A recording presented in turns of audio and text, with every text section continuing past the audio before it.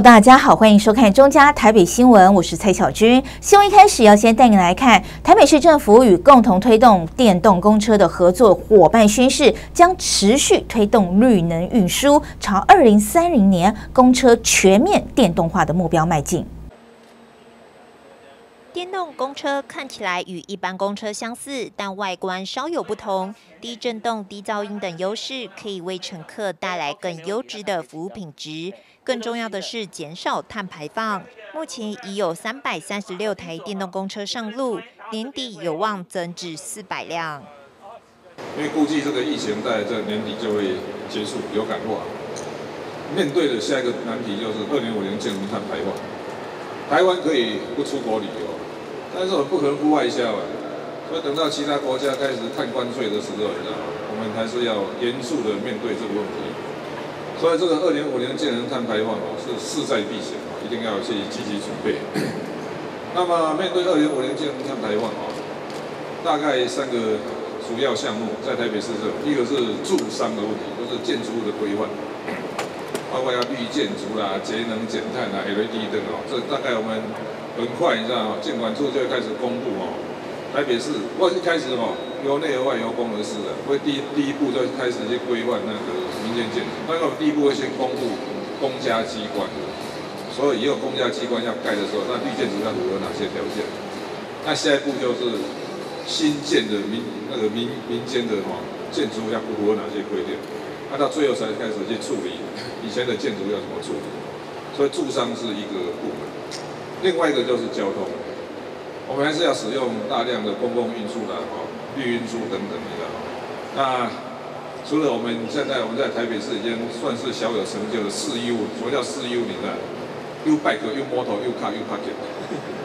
哦，U U bike 大家看，U motor 哦，再 U U U car、U parking，你知道？这样来透过一个 APP 嘛，把台北市所有的公有的。甚至连私有的那种停车位都要在一个手机上显现。事实上，你想想看哦，如果你可以接受 Airbnb 的概念，你知道那你家没有用的停车位，为什么不能拿出来用？那事实上，我们公家机关也开始在强制在推行。大概我知道，我们现在捐出来大概五超过五万个车位，或者还要继续再做下去。那除了这以外，另外一个重重要项目就今天要讲的电动公车。实际上，从二零一八年哦，我们就开始下令说，台北市政府不再补助这个燃油公车了。啊，所以所以市场从现在开始，你知道大概就是只能买电动公车。那这个王明生议员哦，在议会是他不许我们要做这个。那我们我们回来到到底要怎么做？但第一点呢，哦，一定要先帮他准备那个电动公车的充电站。啊，不，万一你买电动公车，你要在哪里充电？所以这个这些，那这个土这个场地的。提供啊，拉电线这个一定要市政府帮忙。再是这样啊，凡事起头难，你知道所以我们当时就开始设定说，电动公司特别是这种运价要怎么再补贴。目前是每每一人次哦二点一二元，那当然这个是会随着这个状况哦，我们去调整。所以我们大概在初期还是要补贴一点钱哦，来支持电动公司。另外一个是哦贷款，因为因为每一辆哦。造价都要一一千万左右，那这个当然交通部有补助的哈，那市政府要补助多少？好问题。我是讲啊，我们先找富邦说，哎，这个是能不能先贷款哦，利率贷款这先做。所以展望未来，你知道吗？我们要知道建要符合这个二零五零建能碳排排放，建年五零建能碳排放啊，要朝向一个一级勇气城市的发展，那这电动公车是势在必行。那大概目标是这样的，因为我们现在是下列哦。公车只要太换，只能买电动，所以估计到二零三零，你知道？大概八年后，台北市这些公车大概就全部汰换完，汰换完毕了。台北市自一百零七年起，将老旧柴油公车逐步汰换成电动公车，配合行政院二零三零年市区公车全面电动化政策，规划许多重要措施。包含不再补助购买燃油公车、留设电动公车调度站及补贴搭乘人次二点一二元等，引导业者加速汰换车辆。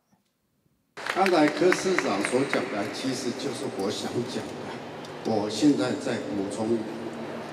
柯市长在八年时间有的政绩，我不再赘述。但是在这四年之中呢，我想大力的推动电动车。台北市是第一个第一个市六都里面第一个规定太换这个太换车子不能太换油车，一定要买电动车的。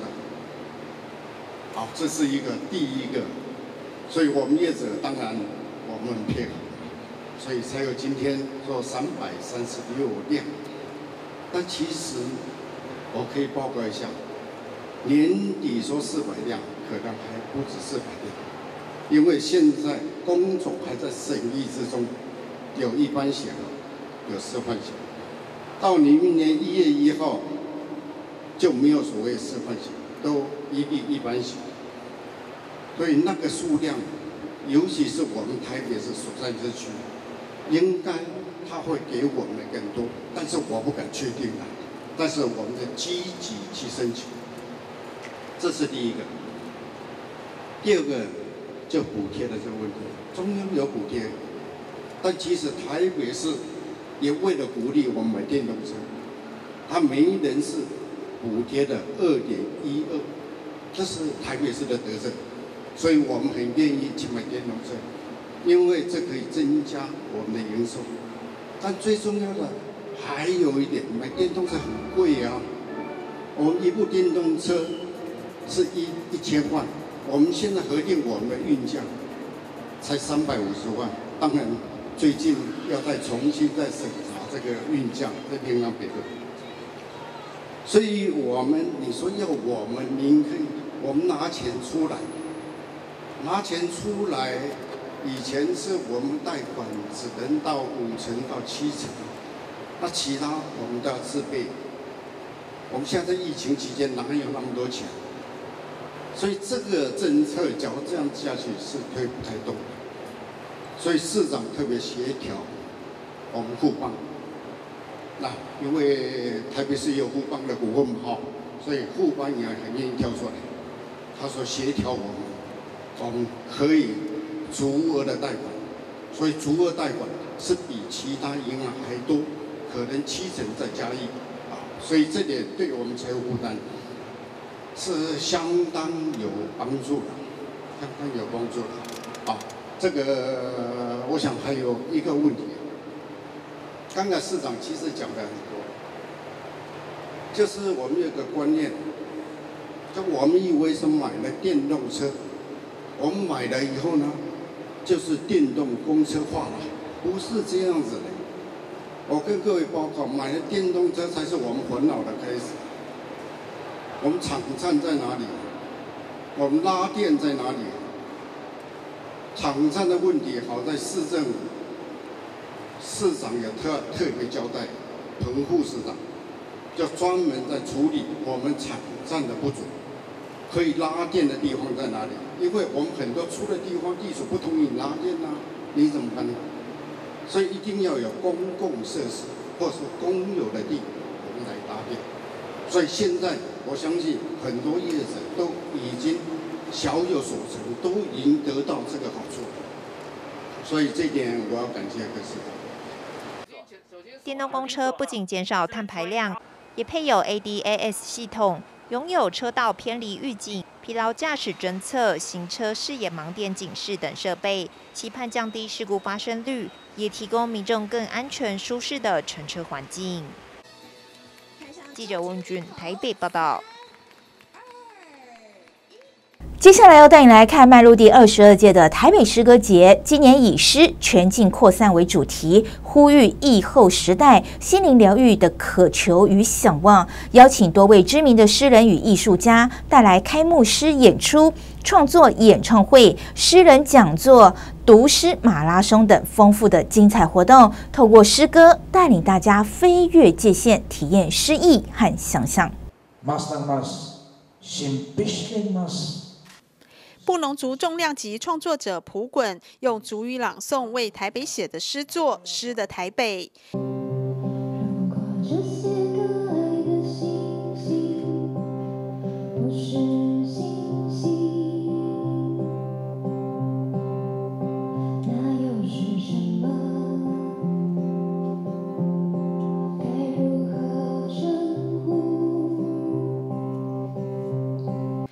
乐科班出身的吟游诗人张心柔，则是以美妙的嗓音唱歌咏言。今年台北诗歌节以“诗全境扩散”为主题，邀请多位知名诗人与艺术家，带来一系列精彩丰富的活动。二零二二台北诗歌节今年的主题是“诗全境扩散”。那其实经过这几年的疫情，大家可能呃都曾经经历过，就是呃疫情伴随着生活这样的时刻。那所以今年我们希望台北诗歌节可以用诗歌这样子一个正面的力量，然后带给大家更多诗的美好跟感受。那一直以来就是台北诗歌节都是以呃贴近社会脉动的风格，还有跨领域这样子的精神。然后每年提供给呃民众一个体验，艺术家们可能呃因为诗歌启发的创作的活力，还有就是呃更关注我们的城市跟世界。那今年的活动从呃这个礼拜六九月二十四号开始登场，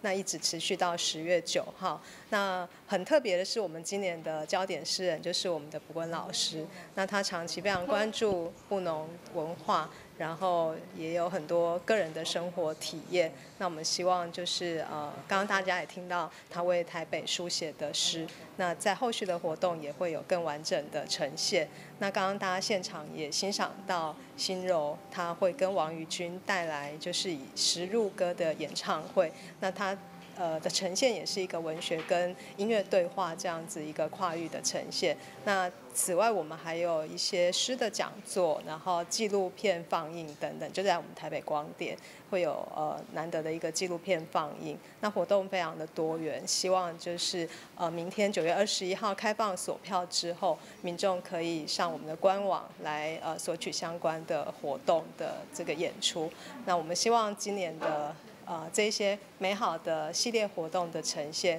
可以带给大家可能在疫情过后，那有一个呃安定跟稳定的一个支持的力量。本届诗歌节邀请到布农族重量级创作者蒲滚担任焦点诗人。诗歌节期间将进行两场焦点诗人专场讲座，而策展人红红及杨家贤则是以描写病毒蔓延的词汇，希望诗歌节就像飞散风中的蒲公英种子般，让诗的美好和勇气在这座城市里扩散开来。我想，因为这个博文老师，他其实常年在这个岛屿的这个南端哦，从事这一个部落里面的这个工作这样子。哦那呃，我想在这个呃台北诗歌节，其实我们呃每一年的活动，其实都常常会举办跟原住民哦这个文学相关的活动这样子哦。那但是我们的焦点诗人，可能在过去还没有以这个原住民诗人来作为焦点诗人这样子，那我们会觉得很感念，就是这个博文老师他在这个部落事务上面的努力哦，而且其实呈现了这个台湾的本色这样子。好，那我觉得这个族族语的这个复兴，部落文化的复兴，我觉得也是台湾近十年来非常重要的我们的文化多元、文化寻根的呃一个重要的这个趋势这样。那博文老师可以说在里面是。一肩扛起这个很重大的这个责任，这样子哦。那我们知道，不管老师他年轻的时候，其实在呃台北念书、念大学这样子哦，在台北其实也有一定程度的这个居住经验。那只是说后来比较多都是在南部哦，所以我们也是有一点觉得说，哎，欢迎博文老师再回来台北看一看这样子，然后以诗来跟台北对话。那同时也希望把博文老师的诗带给也许对原住民文化感兴趣，但是没有那么熟悉的这个台北的朋友们。这个马一航老师，他现在是这个呃台湾就是这个新生代的这个原住民呃作家里面，就是非常非常重要的一位哦。而且他其实不只是在这个部落的这个文化跟记忆方面有所开拓，他在性别面向的这个书写哦，我觉得其实也非常的前卫这样子。哦那呃。买一行，它其实是从抒情哦，然后到这个呃文化的反思，它其实光谱是非常非常的大这样子。那我们这次邀请他跟这个尤静对谈，尤静是香港来的哦，然后性别是他非常主要的这个写作的创作的这个主题，而小马呢哦，他带有这个都市跟部落的经验，但是同时的性别也是他呃主要写作主题，所以我们就在想，如果把一位香港这样的诗人跟一位我们台湾哦这样子的原住民诗人。放在一起的话会有什么样的火花？他们两位从未见过面，也从来没有对谈过，所以我们现在自己也非常的期待。台北诗歌节就是每年我们都希望有一些狂想哈，有一些疯狂的想法，然后尤其在大家因为疫情隔离的隔绝了呃这么长的时间之后，希望可以有一个能够互相取暖、互相可以真正面对面交流的地方，所以我们呃选了一个酒吧叫做小地方，那地方真的很小啊，但是呢呃我们在那边呃现场也会有直播啊，那么我们用十个小时从下午两点一直。进行到晚上十二点，请了二十二位诗人，是不同时代，包括中生代跟新生代，还有台湾以及香港来台湾的诗人，大家一起来，呃，用各种各样不同的方式，哈，包括有人要唱歌，有人要念诗，呃，听说有人还想念心经给观众听哦，就是呃，每个诗人就是有用自己的方法来跟读者做第一手的交流，诗全境扩散。今年台北诗歌节从九月二十四号到十月九号登场，部分活动需事先锁票，锁票及入场方式详见台北诗歌节官网，欢迎民众踊跃参加，感受诗歌的魅力。记者林希慧台北报道。Home Plus 中加宽屏在地影像培力与证件计划开始喽！即日起到十二月十五号为止，丰富奖励等你来拿。详情请加中嘉新闻 FB 粉丝团或扫描真件简章 QR code。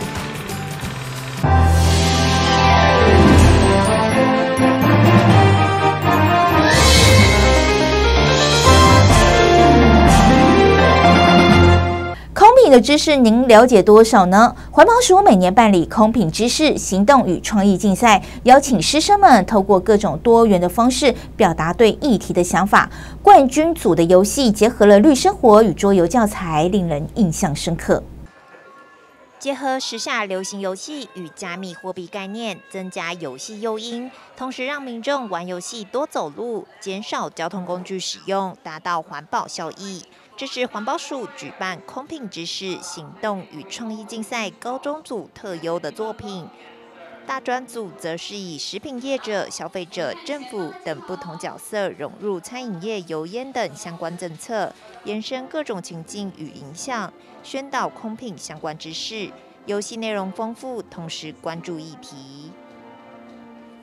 啊，所以这次我们的参赛作品就是希望可以用就是游戏跟。嗯，环境环嗯的 environment 就是合并起来，让小朋友们就是能多学习环境，跟以后长大就是不就是 unconsciously help the environment as well。同时，我们也是有引入区块链的技术，就是在北美洲现在很盛行的一个优势，来放进我们的游戏，来呃引发台湾的年轻人接触新的东西。我我们发现。在台湾一个很大的问题就是很多人在开车。我们的简报有讲到说，台湾有大概两千两百万的车辆，也大大大约是全台湾每一个人都有一台车。所以我们想要减少人们开车，也就是来让人玩我们的游戏可以多走路，他们就没有再开车了。我们是来自彰化师范大学地理学系的学生，然后今年我们刚好二度参赛，以桌游强势回归，然后今天很荣幸获得大专组的特优，然后我们觉得其实在过程中最困难的是如何修正、如何调整，那刚好遇到很棒的伙伴，让我们一起行动、一起落实这些理念，然后也很荣幸可以来这边参加颁奖典礼，然后也很感谢评审们的肯定跟青睐，还有队友们的努力，这样。感谢。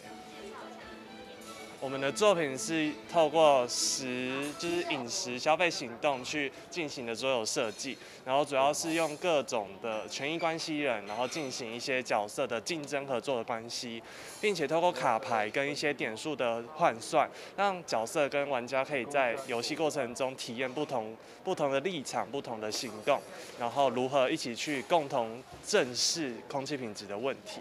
然后大概是我们桌游的基本构想，像是在地的餐食店家，我们就可能设计环保团体去针对空屋进行一些游行或是劝说，又或者是具有强制力的政府来进行一些法规的调整，像是加强摊贩集中区的油烟管制，或者是落实一些呃像是油烟集中处理，或者是改善空气品质的一些策略或法规，是我们会融入桌游的卡牌设计里面的。另外，也有学生自行编排创意舞蹈，动作设计连接空气污染减量方式，让民众以后看到舞蹈都能发挥联想，进而实践环保生活。那环保署办这个活动，我想大家都清楚啊，啊，空气品质需要大家一起努力，才能够来改善，哦，绝对不是说啊只有政府机关，因为你可以知道，我们从食衣住行娱乐。甚至到民俗的活动，都会跟空瓶有关，对不对？好，大家的这个竞赛里面可能也也有提到哈。那过去我们常常会看到说，所谓的自愿性的风险，比如说你知道烧金纸会造成空气污染，但有的人就是因为，即使他知道空气污染，他还是继续烧金纸。好，那有的人知道说抽烟有害健康，他还是继续抽烟。这个就是自愿性的风险，但是有一些呢，对非自愿性的风险就要求你一定要做到零风险，这是不可能。我们只要有人类，只要有活动，就一定会有污染的排放。哦，但是我们要把空气品质到我们可以接受的风险，因为不可能说所有的污染物全部被拿掉，那是不太可能。所以怎么样在经济有效、成本的考量下做到我们？可以接受很多的工资的情况来做这个考虑，所以我想通过这个活动，也让很多的我们在座的学生，在比赛过程里面需要去收集资料，也需要跟老师讨论，那这个就是教育的一部分。哦，通过这样子的一个资料收集，我想大家可能在这过程里面的了解了很多我们空气品质方面有关的名词。甚至我们推动的政策等等，可能都透过这样的一个比赛的过程去了解的。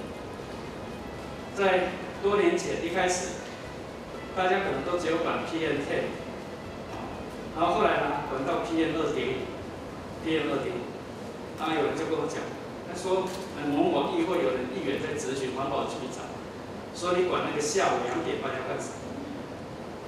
？PM 二点五了哈。说我下午两点半要做什么，所以大家可以知道的就是，啊，即使啊空气污染的空气品质的这个知识一直在一直在累积，一直在成长。哦，那有很多可能过去没有听过的名词，后续呢也会陆陆续续的在出现。那这些呢都需要我们透过宣导跟民众啊去讲清楚。好，那哪些是对人体健康有危害的？那要怎么样避免这个危害？那在政府机关、跟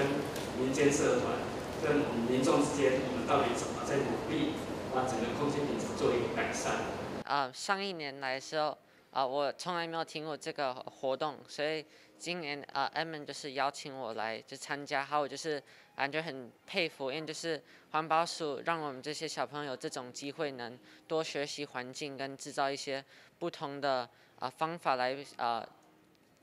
那个十二个那个十一住行十一住行娱乐对，好来学习怎么就是啊用不同游戏或者就是音乐那些来就是广播这个重要的啊环境。我是觉得这个竞赛是非常的好的。很多台湾的小朋友们都可以有一个机会，可以讲出他们的意见，来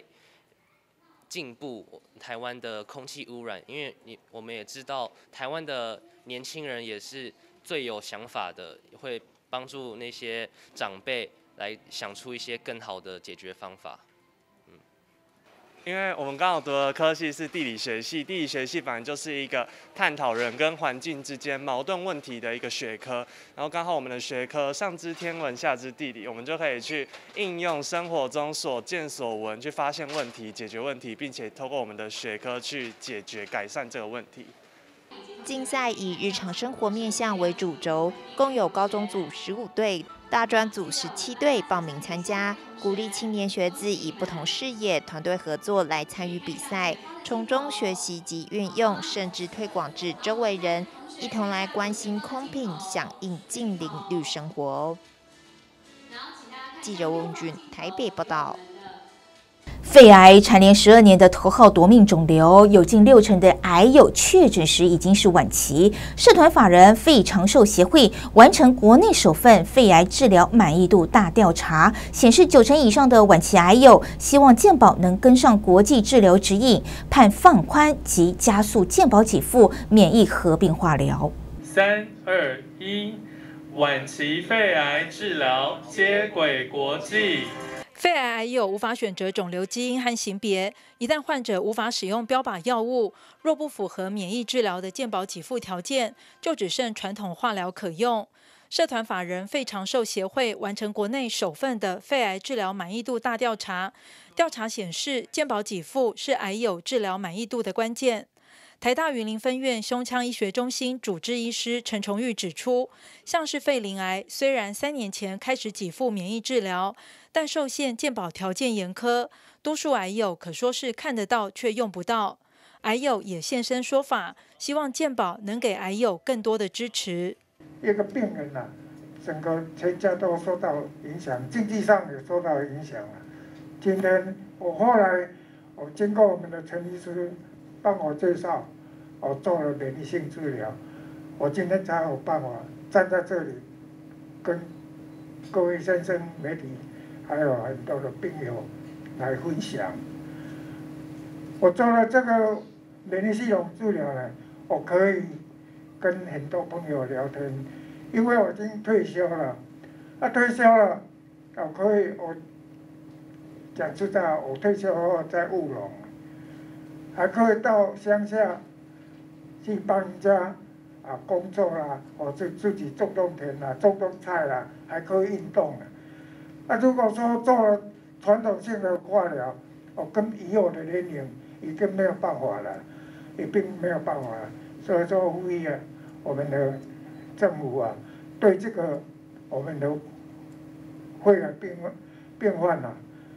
多考虑一下，因为这个。免疫性治疗可能会牵涉到经济问题，经济问题呢，他没有办法承受的话，能说有钱了可以生了，没有钱了要死掉了。很多朋友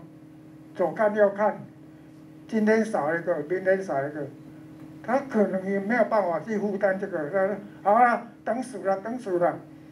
可是政府要关心这一点，台湾。这么长的寿命记录啊，这个政府要关心的，要关心。他们不愿意得到这种病哦，他得到这种病，变成了他的经济负担。所以，所以说啊，我估计啊，我们的政府应当会要非常的关心这个费用，不是每个家庭都可以承担的。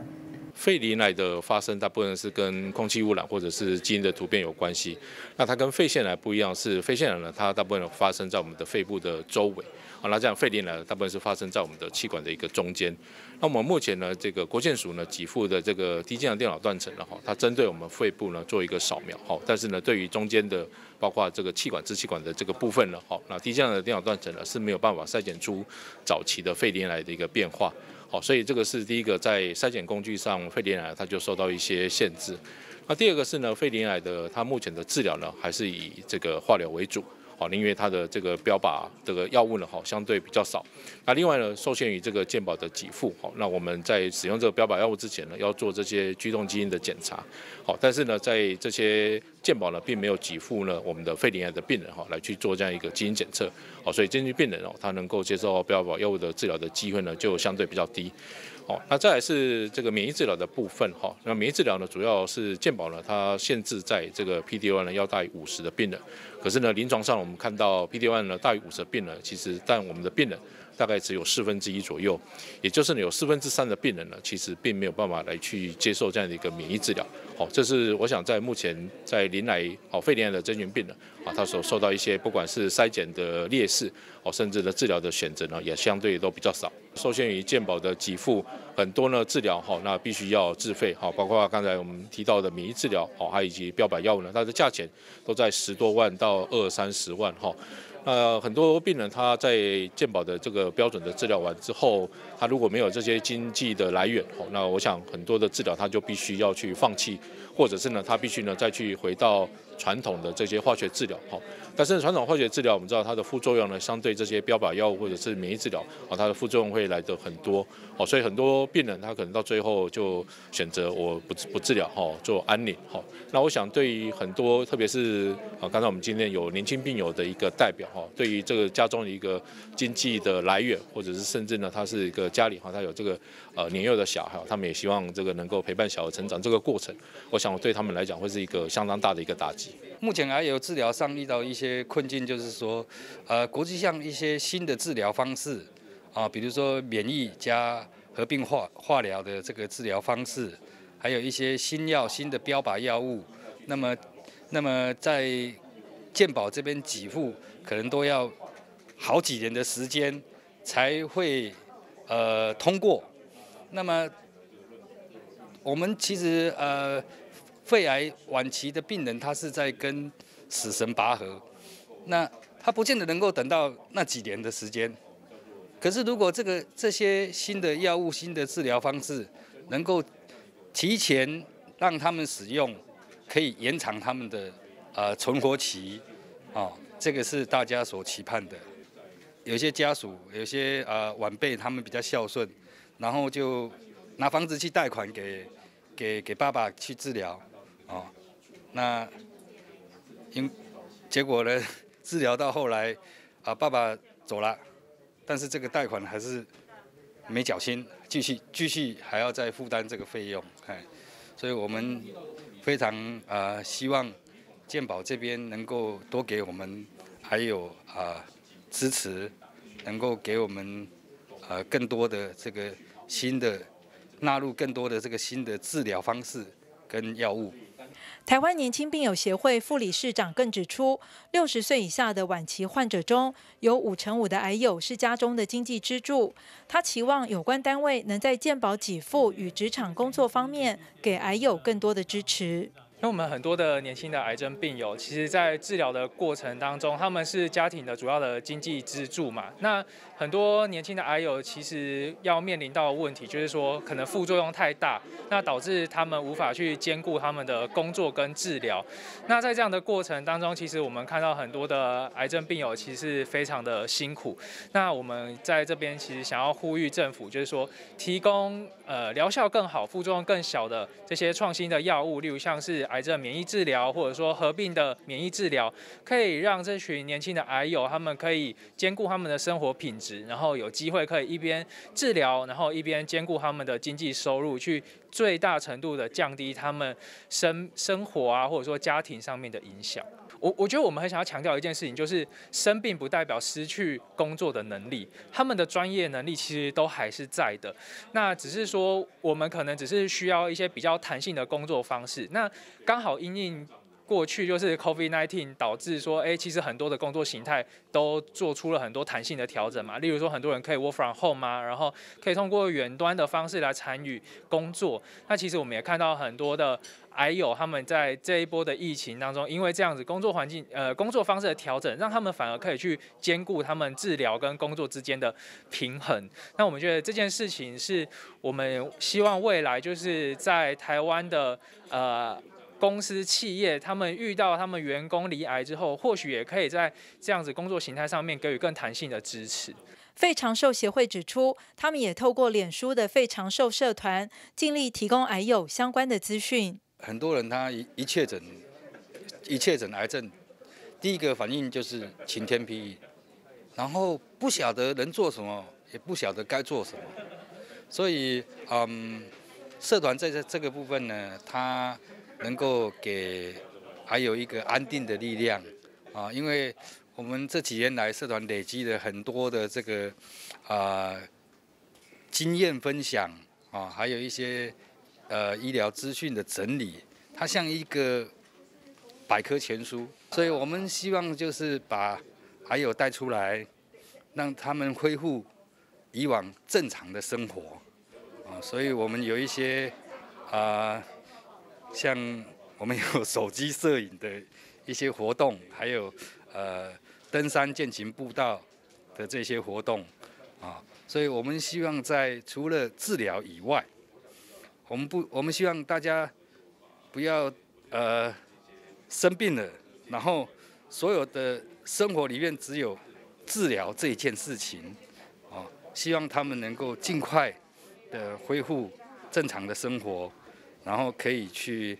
啊让他们生命的宽度可以更宽广。这样子，响应二零二二年世界肺癌日，肺长寿协会、台湾年轻病友协会与沸沸扬扬台大云林肺癌病友会等三大病友团体，共同呼吁政府能重视肺癌治疗需求，盼放宽及加速健保给付免疫合并化疗，作为无肿瘤基因突变的晚期肺癌患者第一线治疗。协助癌友能够透过创新治疗来维系工作收入，提高治疗的满意度。记者陈淑平台北报道。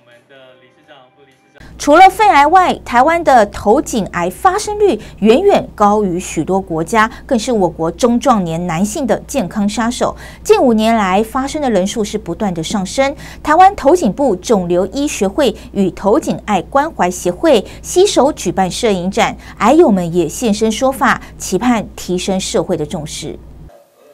头颈癌病友谢先生，二零一二年确诊口腔癌第二期，开始接受手术、化疗等数十次的反复治疗，留下颜面与进食的后遗症，导致他无法再从事原本热爱的游览车司机工作，更让他失去亲友与另一半。抗癌之路越走越孤独，但他仍坚持着生活，且鼓励病友不要放弃积极治疗。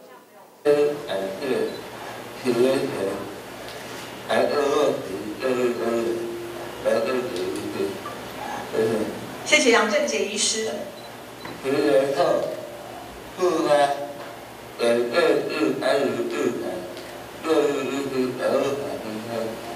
就是本来复发都准备治住安宁病房的，因为遇到我们杨木华医师，有了再一次的生机。谢谢杨医师。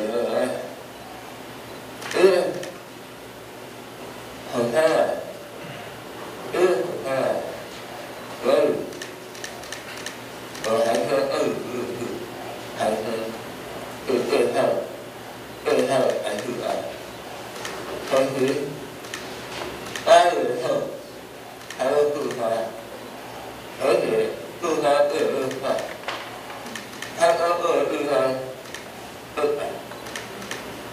ừ ừ ừ hãy học ở ừ ừ ừ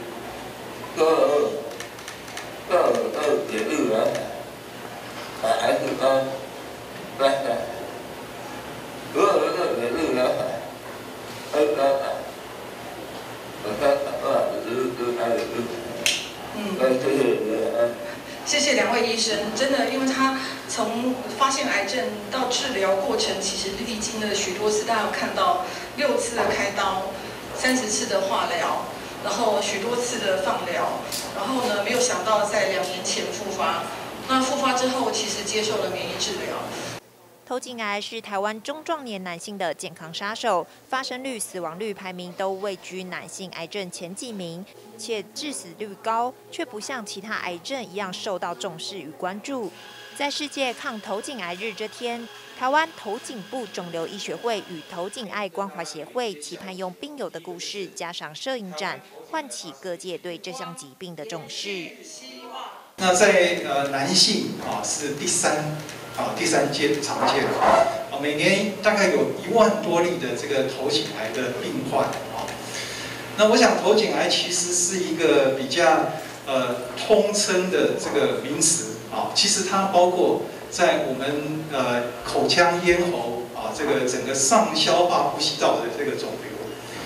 那所以这个肿瘤因为它长的位置啊比较特别啊，那都是在我们呃重要的这个功能啊。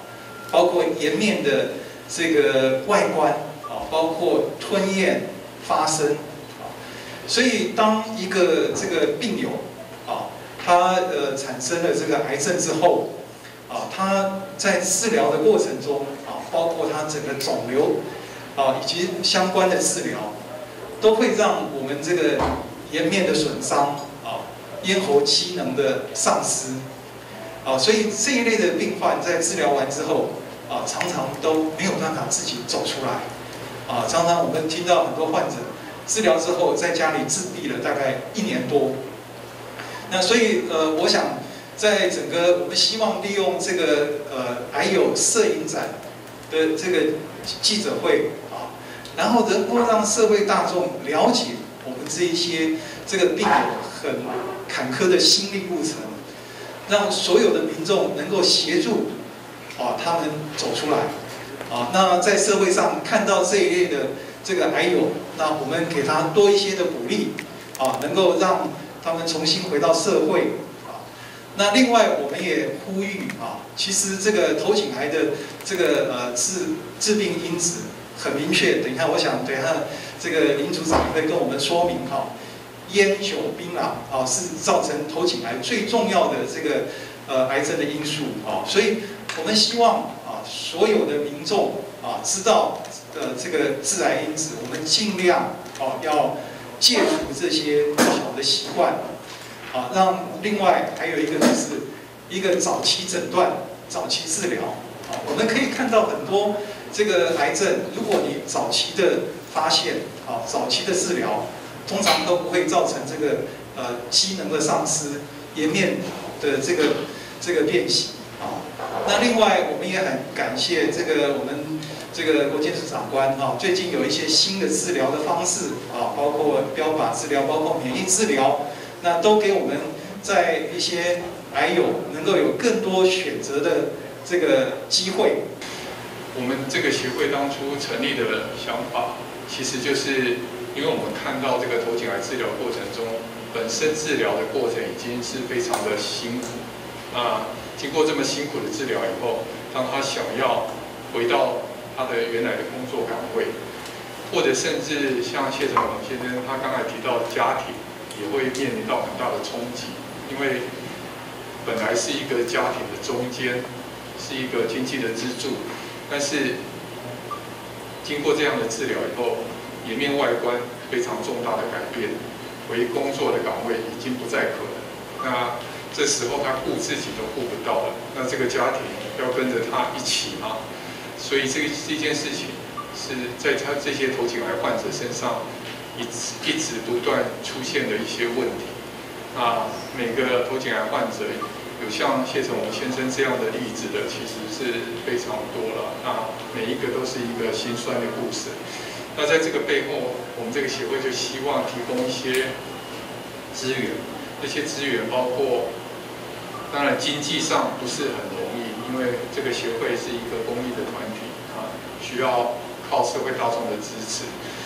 如果在经济上不可能，那我们想一想，就说那可不可以在饮食上啊，啊提供他一些就是跟这个病友团体的互相的交流，然后提供他们心理的支持。那我们能够非常的希望能够做到这一方面，但是相对的呢，我们会想到，就是如果像刚才谢先生所提到的，在这个治疗的选择上，能有更多的一些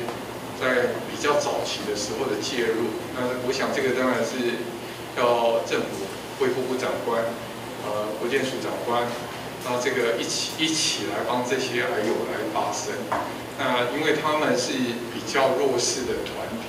一般他们也真的不愿意站到镁光灯下面，在镜头下面，让你看到他来为他们自己来痊愈，所以你很少看到这些头起来的患者站在，当然不要说去示威游行了，哦，连站在这种记者会上面的的机会都非常的少，所以因为这样的关系，所以我们今天借着这个七月二十七号。那这个感谢朱理事长，然后有这个机会把大家带来这里，然后把这个，他这个是一个摄影展，那我们的摄影有镜头，把这个镜头带到这些头颈癌患者身上，看看他们，然后为他们发出一些声音。那也无非就是希望为这些比较不愿意为自己讲话的人，那他们其实是社会的非常重要的螺丝钉，在每一个环节上面。那所以为他们发一点声音，让我们能够注意到这群头颈癌的患者，那也为他们的未来，为鼓励他们。那他们每个人都在他们自己人生的跑道上面，正在跟这个抗癌的路在搏斗。那我们也发现说，在头颈癌的这个呃患者当中，其实大家可以看到，它的这个发生的年龄层是相较是比较在青壮年的，它的年龄发生大概是在差不多五十八到六十之间。那所以这个年龄层的一个发生，也对于在呃家庭的一个冲击、个人的冲击，其实都非常大，因为这也是在家庭里面这个这重要的一个支柱。那所以，像国民健康署这边，我们也一起一起在呼吁，就是说，第一个是从它的这个前端的预防开始。那预防最好的方法就是从我们的拒绝烟冰酒开始。那国民健康署这边也提供了相关的这个戒烟跟戒病的一个服务。因为根据我们调查里面，在口腔癌的病患来说，大概十个就有大概八个那是有吸烟，那七个是有嚼槟榔。所以第一步是远离这个危险因子。那第二个部分是从筛检开始，那我们提供的是在政府部门，就是有这个烟跟槟习惯的这个民众，三十岁以上，那每两年一次的口腔癌的筛检服务。那近期因为受到疫情的影响，所以我们在四癌的筛检里面大概降低的这个两成多，相较一百零八年的时候，那口腔癌的一个筛检更是在这个冲击里面更大，大概高达到三成。那所以我们就会鼓励我们的符合资格的这个民众，那能够接受我们的口腔癌黏膜筛检。那定期筛检的话，事实上从本土的研究也可以降低两成六的这个死亡的一个风险。那刚刚朱理上也特别提到，那我想杨理上当然应该也会提醒，就是说早期发现、早期治疗的话，相较来讲，它的效果真的也会比较好。所以如果说发现有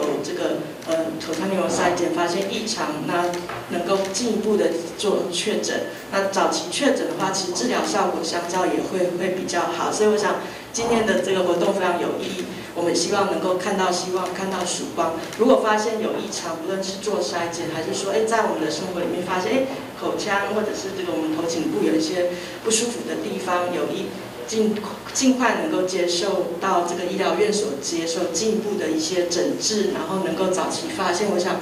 其实这个每一个这个生命都是非常重要，都期盼就是说，在这个个人的一个健康跟家庭的健康都能够大家一起能够有一个幸福的一个未来。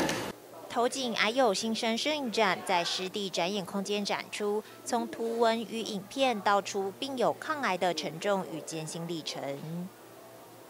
记者问俊台北报道。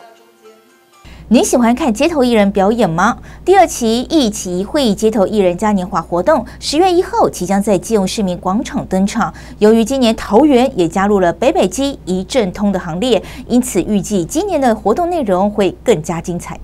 今天为我们来示范的是这个五官的捏塑哦。在捏塑达人吴佳莹的巧手制作下，很快就完成活灵活现的公仔脸孔。第二届一起一会街头艺人嘉年华活动，十月一号即将在基隆市民广场举行。根据基隆市文化局方面的统计，目前基隆市已经核发了一千六百张许可证。由于今年起桃园市也加入北北基一正通新制行列，街头艺人只要透过线上申请，即可到四个县市街头展演。北北基桃合计有超过八千位街头艺人，希望透过四个城市的场地共享，让来自不同地区、不同类型的街头艺人互相学习交流。北北基桃现在是一个生活圈，那在街头艺人的部分，我们也是一证通用，就是在一个地方办了一张街头艺人证，北北基桃四个县市都共用。到现在为止呢，今年的基隆市的街头艺人证，大概我们已经核发了一千六百张之多。那北北基桃共有八千张的街头艺人证，其中桃园市的部分是今年才加入北北基的一个行列哦。那呃，我们希望透过呃大台北首都圈的一个呃文化的治理的互相协助，然后让街头艺人可以在这四县市里面可以互相的协助，跟呃在艺文活动互相推广的支持啊。对于北北基桃四县市的合作模式，从事街头艺人工作已经十多年的吴佳莹非常肯定。对我们街头艺人来讲的好处就是说，我拿了一个证照，我可能住的是台北市或新北市，那拿了证照，那我今天可能会想要去基隆表演，那我可以到基隆去，或者是我在台北市，我想要去淡水，我都可以随时过去那边，然后登记一下，我就可以去那边展演。所以这一件事是还蛮不错的，对。对对对，我不用说，我一定要跑到基隆或者是那个新北市或者是其他地方，说一定要去那边考试，然后才能过去那边表展演。基隆市文化局长陈进平表示，当天除了主舞台有自弹自唱、杂耍、特技等表演艺术类的演出外，现场也将设有艺术摄影、捏面人、造型气球、吸管编织、纸类创作、粘土艺术、串珠、人像速写等，共二十个摊位。基隆市长刘昌欢迎民众到场以艺会友，感受街头表演的热情魅力。记者张启腾，基隆报道。Home Plus 中加宽屏在地影像培力与真件计划开始喽！即日起到十二月十五号为止，丰富奖励等你来拿。详情请洽中加新闻 FB 粉丝团或扫描真件简章 QR code。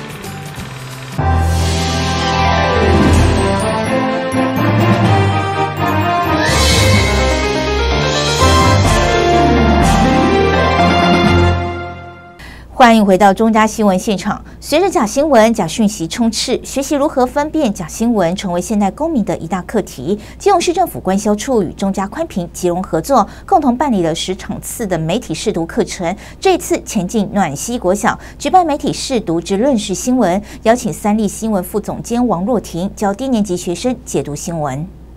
电视上的新闻如何制成的呢？三立新闻副总监以丰富的实务经验，带小朋友了解一大早就要搜集资料，接着定案与编排，还要随时修正的过程。新闻好不好看，就要看编辑有多厉害。另外，也从 live 连线、视讯连线等不同形式的播出方式，展现不同新闻的重要性。用技术把它的绿色换掉。换成我要放的画面，是跟这些呃二年级的小朋友在谈论新闻事件的时候，其实会发现现在的孩子其实资讯量是非常丰富的。我觉得家长要非常注意，小朋友在手机的使用跟电脑的使用上面有很多讯息，的确要帮助他们去识别真假。基隆市政府官销处与中嘉宽屏吉隆合作，共同办理十场次的媒体试读课程。实体课程的部分来到暖溪国校，对于分辨真假新闻，低年级小朋友分享查证的重要。不要乱传新闻，嗯，一定要有怀疑的精神。像上次柬埔寨诈骗，有多个人人被都被没失去联络，但是其实就一百几十一个人而已。进手机里面的。影片，因为有些是假的新闻，所以我会想一想再决定。联系市政府以中加吉隆新闻呢，安排这样的一个媒体试读的活动到哪些来？那如果去呢？提高他们在新闻的真实性的一个辨识上面，我想这都是现在公民社会很重要的一个思辨能力的一个培养。媒体识读的能力，成为现代公民应具备的关键能力。孩子们透过阅听思辨，成为新闻小尖兵。记者蔡小军采访报道。为了让海洋保育从小扎根，国立台湾海洋大学协助海洋委员会海洋保育署办理海洋保育巡回教育活动，首场在台北市关渡国小起跑，超过了一百五十名教师与学生参与，并培训了四十名以上的海洋保育教案种子教师。采用创新推广模式。鹅啊，因为珊瑚和鹅啊几乎都是栖息在新竹的。OK。海洋保育巡回教育活动教师研习工作坊暨示范教学活动，以海洋大学团队所设计的海洋保育教具进行教学。通过种子教师把这样的相关海洋保育的相关观念哦，能够散播出去，那最后甚至能够开发开开花结果。那对整个我们海洋保育的这个知识哦，能够升值到每个中小学生的这个心里面，那也更让我们整个海洋国家、海洋的这样的一个一个环境呢，能够受到更好的一个保护。有请杨广成校长帮我把东部岩礁地形放入藏宝图。海洋保育巡回教育活动锁定国中、国小的学生，期待透过实地走访，将海洋保育带入各县市的中小学课程中，也期待透过今年度各场次活动，让海洋保育观念向下扎根，并培育更多海洋保育种子教师，扩大海洋保育的观念。记者蔡小军采访报道。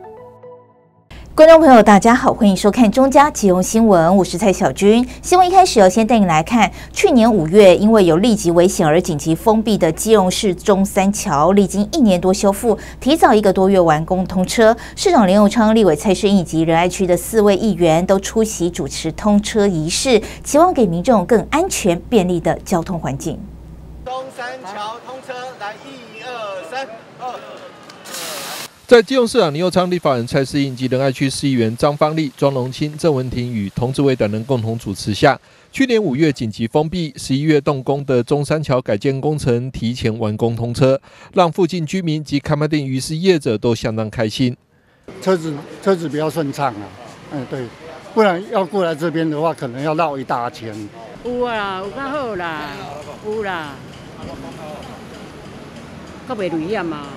对啊，啊嘛较好行路啊。由于中山桥是基隆市区重要桥梁，封闭施工期间对交通也造成冲击。对此，在基隆市长刘昌指示下，公务处成立及时通报群组，定期回报工程进度，并快速回应地方民意，做滚动式调整。刘昌强调，位于市中心区的中山桥改建，就像在心脏装上支架。接下来，同属围桥改建的中二桥也预计在十月中旬完工通车，希望提供民众安全顺畅的交通环境。今天中山桥开通哦，非常的高兴，工程进行的非常顺利，而且提前了大概将近一个半月左右的时间来完工。那非常感谢哦，我们包括议员、里长，还有我们康湾定的渔商，大家一起支持市政府，然后让这个工程非常的一个顺利哦。那市中心区呢，其实就有点像我们基隆市的这个交通的心脏啊。好，然后我刚刚在这个形容，其实这两条桥的一个开通哦，就有点像我们的心脏装了支架一样。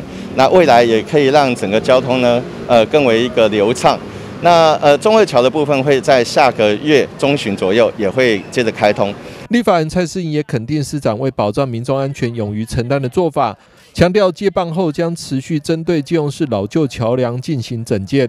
公务处检测围桥的时候发现这个状况，那赶快封闭，然后大概花了四个月到五个月的时间。完成了预算的争取以及招标的整个的流程，还有工程的设计哦。其实是我觉得这个速度算蛮快的啦。哦，所以刚才为什么市长特别提到说啊，为什么很临时性的封？其实他可以等到工程招标决定之后才来补充桥，也可以。可是这样子的话，那接近半年的时间，一旦发生任何的危险，都是没有人能够承担的。所以市长用市政府的力量把它承担起来，也让所有的我们的里民议员知道，我觉得这是蛮重要的一件事情。除了桥梁改建，在市员同志委要求下，公务处也增加无障碍坡道设施，让行人也能安全通行。接下来，位于仁武路的仁爱桥改建，预计明年农历年后动工。公务处方面表示，会做好相关配套措施，将交通冲击降到最低。记者张启腾、基隆报道。以上就是今天的中嘉新闻，也欢迎您到中嘉新闻的脸书及 YouTube 按赞，就能及时获得最新的在地新闻。另外，我们也与 FM 轻松电台九六点九联合直播，欢迎准时收听。非常感谢您的收看，我是蔡小军，祝您一切平安，我们再会。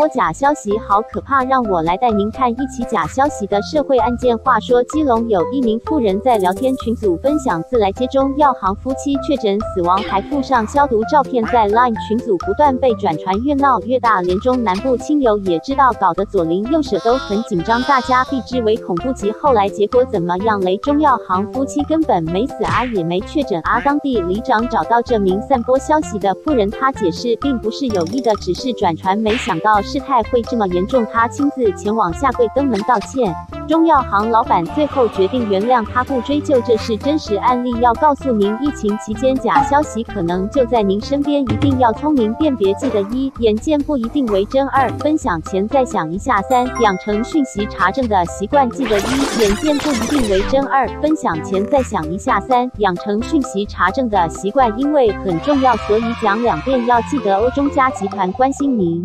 随着疫情升温，假消息满天飞，到底哪个才是正确的？利用以下三个超实用 APP，简单操作，快速查证。赖讯息查证，加入赖好友，提供希望查证之讯息内容即可查证。另外还提供最新查核讯息供民众了解。台湾事实查核中心，赖搜寻台湾事实查核中心，加入好友。将收到的讯息整篇贴上，即可查询是否为假消息。My GoPen 同样加入赖好友，当您收到不明消息，直接转贴到 My GoPen 查证时，可点选绿色按钮前往查证结果，也可点选橘色按钮，直接将查核结果转达给亲朋好友哦。记得收到疫情传言时，不转发，多查证。散播假讯息不仅会罚钱，还可能触犯刑责，也会造成不必要的恐慌。让我们一起对抗病毒，正向防疫。